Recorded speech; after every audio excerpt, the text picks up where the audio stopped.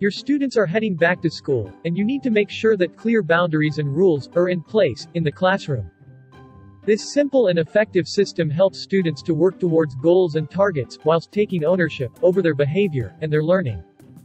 Don't forget to subscribe to see more videos like this. Keep watching to see how we created this system using the Keynote software.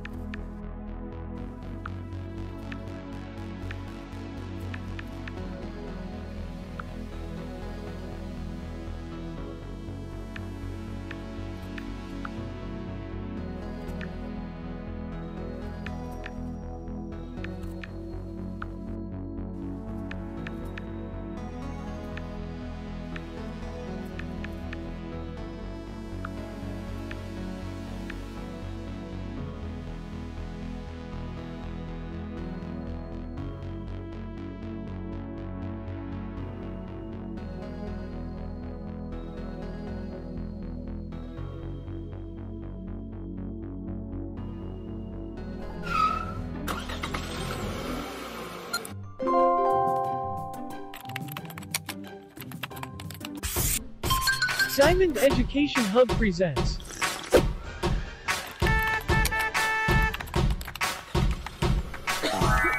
Online Learning